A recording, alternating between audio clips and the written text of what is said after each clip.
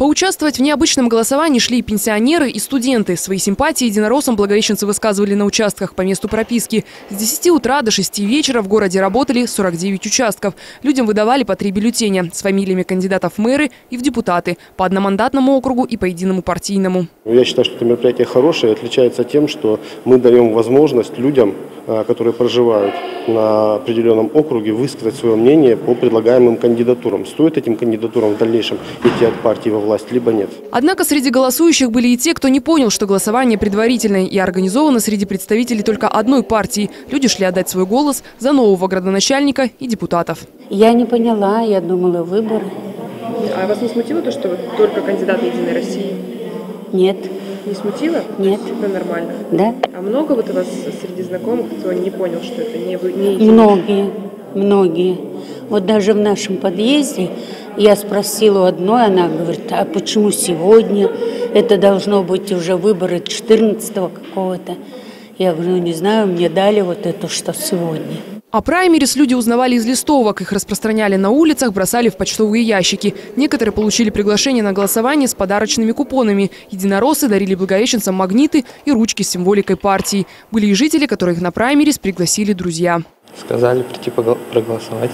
А кто сказал? Ну, попросили за Кондратьева. Ну, друзья. Ну, сказали то, что за Единую Россию спортсмен. Ну, как бы сам спортом занимаюсь и решил прийти проголосовать за него. Многие специально пришли поддержать единороссов, которые уже показали себя как депутаты. Претензий к нему нет, помощь от него всегда есть. Дома нам, это, дворы помог прото- протолкнуть по-русски. Так что вопросов нет, все пойдут за него голосовать. Вдруг мы его протолкнем, там дальше пойдет, нам легче будет. Так что с- поэтому мы и пришли.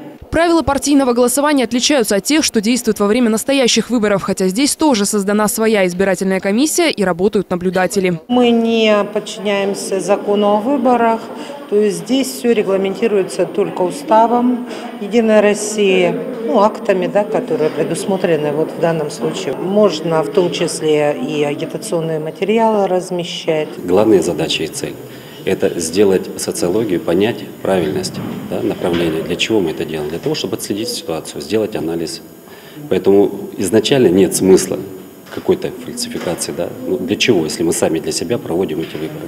Мы же должны правильно понимать дальше, каким путем идти. Всего в предварительном партийном голосовании поучаствовали почти 60 единороссов, которые хотят стать депутатами или мэром. В том числе и совсем молодые. Одной из претенденток в народные избранники стала студентка АМГУ 92 года рождения. Станет ли она настоящим кандидатом в депутаты, жители узнают после подсчета голосов. Анастасия Носкова, Василий Пронькин. Альфа Новости.